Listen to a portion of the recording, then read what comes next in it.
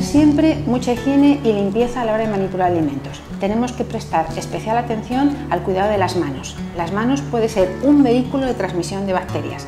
Luego habrá que lavarlas todas las veces que sea necesario, pero siempre antes de empezar a cocinar alimentos, después de cocinar alimentos, cuando vayamos al baño, después de habernos sonado o haber estornudado, después de, de cambiar los pañales a los bebés o a las personas enfermas, después de tocar basuras, después de tocar mascotas que podamos tener en casa, que, que, habrá que intentar que no entren en la cocina. O sea, las manos hay que tenerlas limpias siempre.